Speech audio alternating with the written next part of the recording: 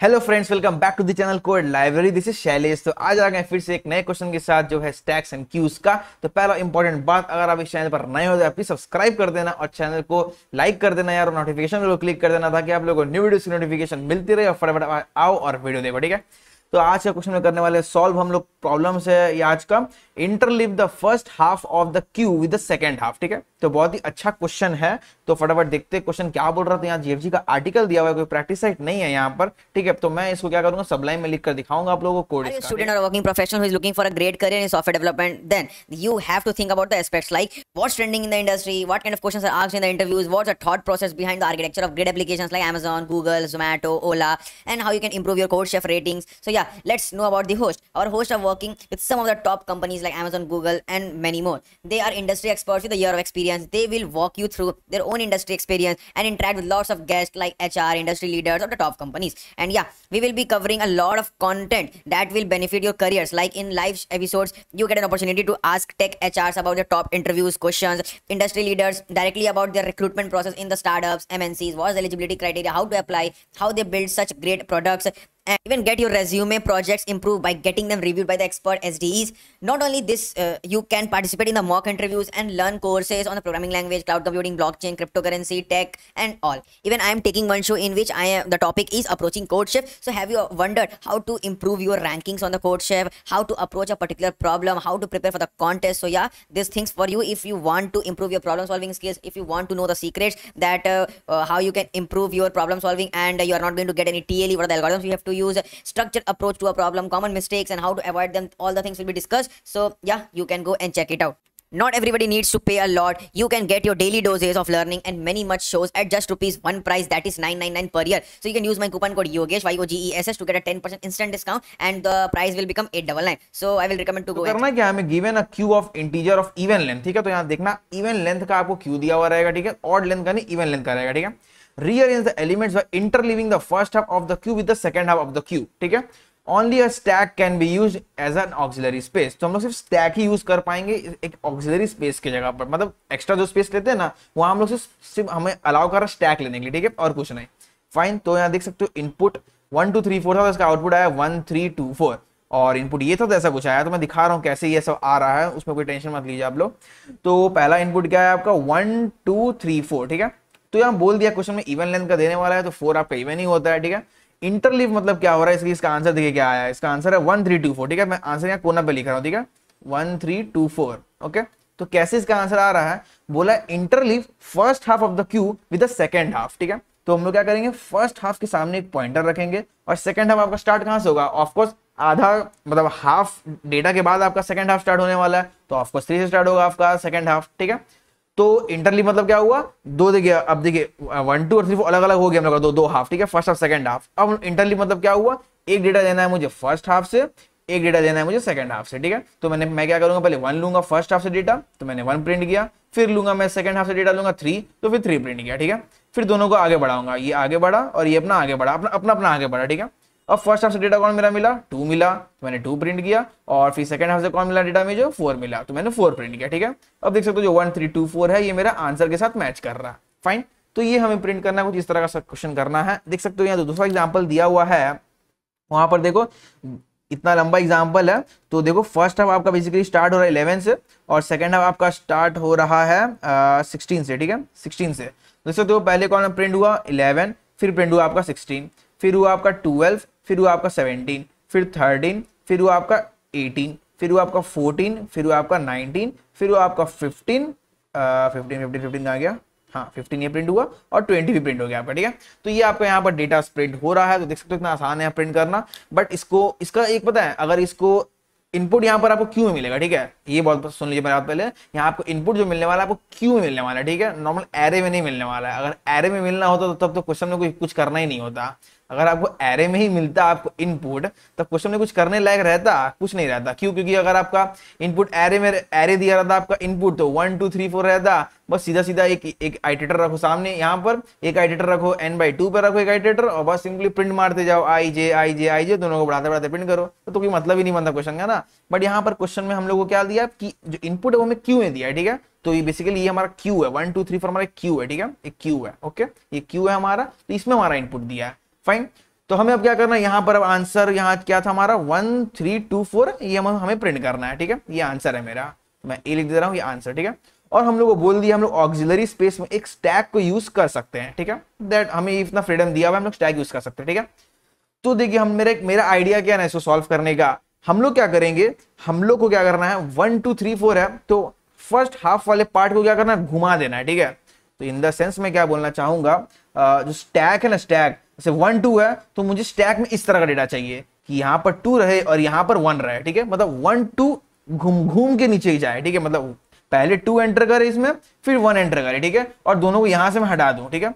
ये मेरा काम है, मुझे करना है लास्ट में मतलब ये लाना है मुझे, ठीक है? और फिर मैं क्या करूँगा? एक पॉइंटर रखूँगा स्टैक में, एक पॉइंटर रखूँगा क्यू में। और फिर क्या करूँगा? जो मेरा क्यू रहेगा एक स्टैक से डेटा लेके डालो तो वन डाला, फिर क्यू से डेटा लेके डालो थ्री डाला, फिर स्टैक से डेटा लेके डालो टू डाला, फिर क्यू से डेटा लेके डालो फोर डाला। तो देखिए मेरा आंसर पूरा मिल जाएगा मुझे, ठीक है? तो ये मुझे लास्ट में अचीव करना है, ठीक है?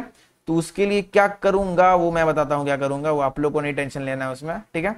तो पहले यहाँ से डेटा रिमूव करो करो करो करो हाँ। तो अब देखिए मैं क्या करूँगा, यहाँ मेरा वन टू प्रेजेंट था। तो ये चीज़ अचीव करने के लिए, देखिए, मैं क्या करता हूँ, यहाँ पर एक स्टैक बना लेता हूँ जो मुझे अचीव करना था, ठीक है? तो मुझे टू इस तरह कुछ मुझे अचीव करना था स्टैक में, और क्यू में सिर्फ़ थ्री फोर रहना चाहिए, वो मुझे अचीव करना है, ठीक है? तो कैसे करेंगे हम लोग? देखिए, पहले क्या करेंगे हम लोग उसका हाफ़ डिवाइड करेंगे, ठीक है? तो वन टू थ्री फोर में हाफ़ कितना हुआ? सिर्फ़ वन टू हुआ हाफ़ आपका। तो फ़र्स्ट हाफ़ को मैं डालूँगा स्टैक में, ठीक है? तो मैं वन स्टैक में डाला तो वन पहले आया एंटर फिर टू एंटर किया, और वो आपका क्यू से बेसिकली पॉप हो जाएगा। फाइन अब ये थ्री फोर क्या करूँगा, मैं इसको आगे बढ़ा देता हूँ। थ्री फोर तो आगे आ जाएगा ना आपका, यहाँ आ जाएगा, ठीक है? अब मैं क्या करूँगा, जो डेटा मेरा स्टैक में है, उसे वापस क्यू में डाल दूँगा, ठीक है? तो वापस मैं क्यू डाला तो पहले टू मेरा गया टू गया, फिर ये पॉप हो जाएगा यहाँ पर, फिर वन गया मेरा तो वन गया, फिर वन भी पॉप हो जाएगा, ठीक है? तो मेरा स्टैक अब एम्प्टी हो चुका है। फाइन तो ये आपका हो गया, अब दूसरा कुछ फॉर्म अब बन गया क्यू का, ठीक है? अब मुझे क्या करना है थ्री फोर तो मुझे पीछे चाहिए था ना थ्री फोर मैं ये टू वन को निकालूँगा कैसे? देखिए, अब मैं टू को अगर निकाल के ढालू फिर वन निकाल के ढालू तो मैं आराम से देखिए मुझे ये ये वाला ये वाला जो पोर्शन है, ये मुझे अचीव हो जा रहा है यहाँ पर, ठीक है? बट तो ये करने के लिए मुझे क्या करना पड़ेगा? पहले थ्री फोर को तो खड़ाना पड़ेगा ना सामने से, तब ना मैं क्यू से निकाल पाऊँगा डेटा को। तो उसके लिए क्या करेंगे हम लोग? थ्री को यहाँ से निकाल के, यहाँ डालो और फिर फोर को फिर निकाल के पीछे डालो, ठीक है? तो देखिए कुछ इस तरह होगा। मैं थ्री फोर थ्री को निकाल के यहाँ डालता हूँ तो ये निकल गया आपका। और फिर आपका फोर को निकाल के मैं पीछे डालूँगा, फिर आपका फोर निकल जाएगा, ठीक है? तो आपका कुछ टू वन थ्री फोर है, ठीक है? याद रखिएगा। क्या है आपका? टू वन थ्री और फोर ठीक है? तो ये आपका हुआ। अब मैं क्या करूँगा? अब देखिए, मेरा टू वन सामने आ चुका है तो आराम से मैं निकाल सकता हूँ क्यू से उसको। तो टू को मैं निकाल के डाला स्टैक में टू निकला, फिर वन निकाल के डाला स्टैक में तो वन निकला, ठीक है? और ये दोनों यहाँ से हटा दो। और थ्री फोर क्या करो? बस सामने लगा दो, ठीक है? तो मैंने डाला थ्री और फोर ये रह कैसे गया? हाँ ठीक है? अब देख सकते हो, जो मुझे चाहिए था अपना एक स्ट्रक्चर चाहिए था, वो मुझे अचीव हो चुका है, ठीक है? मेरा वन टू जिस तरह स्टैक में चाहिए था, इस तरह का कुछ, उस तरह मेरा, वो तरह, उस तरह का मेरा अचीव हो गया वन टू और थ्री फोर मुझे जैसे चाहिए था क्यू में वो मेरा आ चुका है, ठीक है? अब मुझे क्या करना है? एक पॉइंटर रखना है स्टैक में, एक पॉइंटर रखना है क्यू में, ठीक है? अब मैं क्या करूँगा पहले? स्टैक का डेटा डालूँगा, फिर क्यू का डेटा डालूँगा, ठीक है? तो पहले क्या करूँगा? स्टैक का डेटा कौन है वन तो वन लेके मैंने पुश किया क्यू के अंदर। अब इसको मैं कर दूँगा यहाँ से पॉप स्टैक से, ठीक है? पॉप किया। अब मैं क्यू का डेटा को यहाँ से निकाल के वापस से क्यू में ही डालूँगा, ठीक है? फिर थ्री यहाँ पुश हुआ तो बेसिकली ये यहाँ से पॉप हो जाएगा, ठीक है? पॉप ओके ये क्यों नहीं हटा? हाँ। अब देखिए मेरा पॉइंटर गया यहाँ पर और ये पॉइंटर गया यहाँ पर। फाइन अब मेरा टू उठ के यहाँ से क्या होगा? पुश हो जाएगा आपका कहाँ पर? क्यू में, ठीक है? टू में पुश हुआ और फिर उसके बाद यहाँ से ये हो जाएगा पॉप फाइन अब मैं क्या करूँगा? फोर को लेके निकाल के वापस से पुश करूँगा इसमें क्यू में, ठीक है? तो फोर यहाँ गया और ये आपका हो जाता है पॉप तो देखिए क्या आपका आंसर फाइनली बना इस क्यू का? इसको लंबा कर देता हूँ क्यू को। क्या बना आपका? One three two four. मेरा फाइनल आंसर क्या था? One three two four. देख सकते हो हमारा आंसर अचीव हो गया एकदम, ठीक है? एकदम सिंपल सा कंसेप्ट था, खाली बस यहाँ से यहाँ डालो, यहाँ से वापस क्यों में डालो, फिर क्यू से निकालो, क्यू में डालो, वापस फिर स्टैक में डालो, फिर क्यू में डालो? किया बस इसी की, मैं यही किया हूँ। क्यू से लेकर स्टैक में डाल रहा हूँ स्टैक से लेकर क्यू में डाल रहा हूँ, क्यू से निकाल, क्यू में डाल रहा हूँ, बस वही कर रहा हूँ बट मेरा आंसर आ गया, देख सकते हो तुम लोग, ठीक है? तो देख सकते हो मैंने बस एक स्टैक ही यूज़ किया अगर एरे में रहता क्वेश्चन था तो कुछ होता ही नहीं। या क्यू में इनपुट दिया है हमारा क्वेश्चन और, और सिर्फ़ हमारा एक्स्ट्रा स्पेस लेने बोला वो स्टैक ही ले सकते हैं। तब तो यहाँ पर हमें इस तरह का ही करना पड़ेगा सोल्यूशन ठीक है? समझ में आया? स्टेप्स मैंने मैंने क्या किया? फ़र्स्ट टाइम मैंने क्या किया? डेटा को क्यू से लेकर मैंने डाला स्टैक में ठीक है? हाफ़ डेटा को डाला ठीक है? एन बाई टू डेटा को मैंने क्यू से लेकर स्टैक में डाला। फिर क्या किया? स्टैक का जो डेटा मेरा जो था जो मैंने डाला था स्टैक में उसको वापस से क्यू में एंटर किया ठीक है? थर्ड स्टेप मेरा क्या था? जो क्यू का हाफ़ डेटा को मैंने क्या किया? क्यू में वापस से पुश करके पॉप करके वापस से पुश किया, ठीक है? तो यहाँ भी हाफ़ डेटा को ही मैंने पॉप करके पुश किया क्यू में। और फिर फोर्थ टाइम स्टेप में मैंने क्या किया? क्यू का डेटा को मैंने क्या किया? वापस स्टैक में डाला, वही एन बाई टू डेटा को, जो मेरा ऊपर में हुआ था, ठीक है? जो स्टेप वन में हुआ था, वही मैं स्टेप में फोर में किया, ठीक है? क्यू से हाफ़ डेटा को लेकर स्टैक में डाला। अब फाइनली मेरा फिफ्थ पॉइंट में क्या हुआ? मेरा इंटरलिविंग वाला जो मेरा आंसर है, वो जनरेट हुआ। तो मेरा फिफ्थ टाइम में मेरा आंसर जनरेट हो गया, ठीक है? तो ये फाइव स्टेप याद रखना है। पहले हाफ़ डेटा क्यू से स्टैक में डालना है, फिर स्टैक का डेटा को वापस क्यू में डालना है, फिर क्यू से हाफ़ डेटा को निकाल के वापस क्यू में डालना है, फिर क्यू से हाफ़ डेटा को निकाल के वापस स्टैक में डालना है, फिर वहाँ से मतलब एक एक करके हमें क्यू में पुश कर देना है। समझ में आया ना? इतना कंफ्यूज नहीं ना हुआ। अगर आप कंफ्यूज हो रहे हो तो वीडियो को फिर से देखना एक बार, क्योंकि जो मैं आइट्रेट करके दिखाया ना अभी पीछे आपको तो फिर से आपको समझ में आ जाएगा अच्छे से, अगर आपको थोड़ा कंफ्यूज हो गए होगा तो ठीक है? तो वापस इस वीडियो को स्टार्टिंग से देखो तो मैं आइट्रेट किया आपको समझ में आ जाएगा फाइन चलते हैं इस कोड की तरफ़। तो कोड कोड ये रहा कोड ठीक है? आ गए कोड में फाइनली तो मेरा क्यू लिया हुआ है, ये तो एस ही है, ठीक है? मैंने सिंपली पुश किया one two three four normal push कर दिया मैंने, ठीक है? मैंने एन में ले लिया फोर साइज़ फोर है हमारा। एक स्टैक मैंने लिया ऑक्सिलरी स्पेस के लिए। अब मुझे फाइव स्टेप करना है तो देख सकते हो आपको क्लियर दिख रहा होगा। ये आपका फ़र्स्ट स्टेप है, ये आपका सेकंड स्टेप है, ये थर्ड है, ये फोर्थ है, और ये आपका फिफ्थ स्टेप है, ठीक है? तो आते पहले फ़र्स्ट स्टेप में। फ़र्स्ट स्टेप क्या था मेरा यहाँ पर? क्यू से डेटा को लेकर डालना है स्टैक में वो भी हाफ़ डेटा को, ठीक है? तो मैं क्या करूँगा लूप चलाऊँगा ज़ीरो से लेकर एन बाई टू तक का, और स्टैक में पुश करूँगा क्यू का फ्रंट को और क्यू को पॉप कर दूँगा, ठीक है? तो ये काम हो गया, आपका क्यू से डेटा स्टैक में आ चुका है। सेकंड स्टेप था आपका स्टैक से सारे डेटा को क्यू में डाल देना ठीक है? तो मैं चलाया वाइल जब तक मेरा स्टैक एम्प्टी नहीं होता है, मैं क्यू डॉट पुश करते रहूँगा स्टैक डॉट टॉप और वापस से क्यू स्टैक को पॉप करते जाऊँगा, ठीक है? तो स्टेप टू खत्म। आते स्टेप थ्री में स्टेप थ्री क्या था हमारा? स्टेप थ्री था हमारा, वापस से क्यू का डेटा को क्यू में डालना है एन बाई टू डेटा को ठीक है?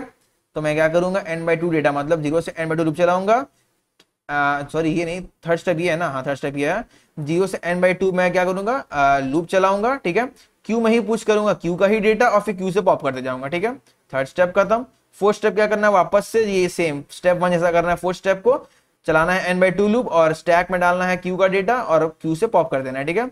लास्ट स्टेप में इंटरलिविंग वाला पार्ट करना है बेसिकली देखिए लास्ट में क्या हुआ था हमारा? यहाँ जब मेरा टू और वन आ चुका था तो मेरा टॉप में कौन था? ये वन था, और यहाँ पर आई थिंक क्या था? थ्री फोर था ना मेरा यहाँ पर क्यू में, और मेरा यहाँ पर क्यू के फ्रंट में थ्री था, ठीक है? तो बस वही करना है हमें। क्यू में क्या करना है? पुश करना है।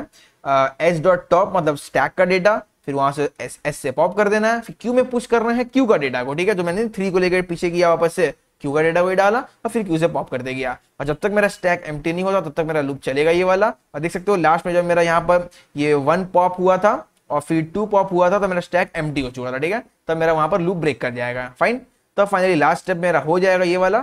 शायद कुछ हो गया हाँ। ये आपका हो जाएगा लास्ट स्टेप जिसमें मेरा क्यू जो है वो आपका इंटरलिप बन चुका होगा। फिर सिंपली मैं क्यू को बस प्रिंट किया हूँ, ठीक है? जब तक मेरा क्यू एमटी नहीं होता, मैं डेटा को प्रिंट कर देगा और पॉप कर देगा, ठीक है? तो जब मैं इसे करता हूँ रन तो रन करूँगा आई थिंक मैं पहले रन कर चुका था तो वन थ्री टू फोर आया। और जब मेरा इनपुट था वन टू थ्री फोर ठीक है? तो उसी तरह मैं अगर ये इनपुट भी लूँगा, ये वाला इनपुट तो भी मेरा सही आंसर आएगा। चलो, लेके देखते हैं क्या? चलो, लेके देख ही लेते हैं। इलेवन ट्वेल्व थर्टीन फोर्टीन से लेकर सिक्सटी ट्वेंटी तक है, ठीक है? तो पहले मुझे डालना है यहाँ पर एटीन या नाइनटीन और यहाँ हो जाएगा आपका ट्वेंटी ठीक है? चलो, इसको रन करके देख लेते हैं, इसका आंसर क्या आता है हमारा? तो इसका आंसर आया आपका 19 रुको, इसको पीछे करने दो। हाँ इसका आंसर आपका क्या आया है आपका? 19 20 12 11 कुछ गड़बड़ हुआ है यहाँ लग रहा है मुझे। ओ एन फोर क्यों लिया मैंने? यहाँ कितना मेरा एन है? One two three four five six seven eight nine ten ten है ना? तो एन को मुझे टेन करना होगा, ठीक है? चलो, अब रन कर लेते हैं फटाफट। तो मेरा आंसर सही आ जाएगा, ठीक है? तो देख सकते हो eleven sixteen twelve seventeen thirteen eighteen fourteen nineteen fifteen twenty और यहाँ देख सकते हो, वही हमारा eleven sixteen twelve seventeen thirteen eighteen fourteen nineteen fifteen twenty ठीक है? देख सकते हो सोल्यूशन सोल्यूशन हमारा आ चुका है। तो होपफुली यार वीडियो समझ में आया होगा तो वीडियो को लाइक कर देना चैनल पर नए हो। अरे हाँ सब बताना भूल गया मैं टाइम टाइम हो जाएगा, इसका आपका ऑर्डर ऑफ़ एन चलेगा यार। एन बाई टू चल रहा है तो मतलब एन ही चल रहा है, वो बेसिकली एन ही लेगा लास्ट में, ठीक है? और ये आपका एक, दो, तीन, चार, पाँच बार चल रहा है तो आप फाइव एन बोल सकते हो, पर ओवरऑल एन ही बोलो इसको, ठीक है? और स्पेस के लिए बस मैंने स्टैक का यूज़ किया तो ऑर्डर ऑफ़ एन स्पेस भी हो गया, ठीक है? तो समझ में आया वीडियो? तो यार वीडियो को लाइक कर देना चैनल पर नए सब्सक्राइब कर देना, तब तो तक मिलते हैं नेक्स्ट वीडियो में। Until then bye